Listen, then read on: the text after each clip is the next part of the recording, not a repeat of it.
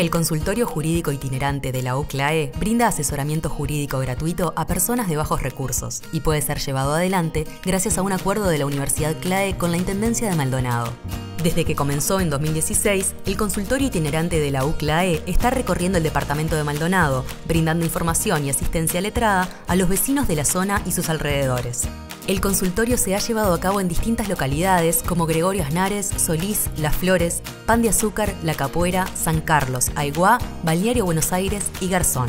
En todos estos años que el consultorio itinerante lleva recorriendo el departamento de Maldonado, han participado más de 100 alumnos y se atendieron más de 700 consultas. En el año 2022 se recibieron 181 consultas y en el 32% de los casos se prestó asistencia letrada.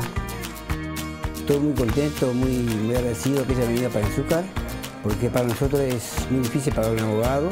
Muy bueno el servicio que están brindando, porque los que no podemos pagar un abogado, acá lo tenemos gratis. Es impagable para nosotros la atención que nos dan.